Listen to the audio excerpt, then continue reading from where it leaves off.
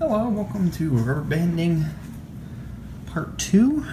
And in the first bit of that, I took a look at more and more technique-based build, and now I'm going to be taking a look at masks.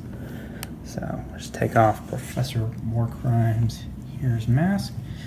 And you can see by using all those little holes and yeah, you had to, I had to put it around the mouthpiece.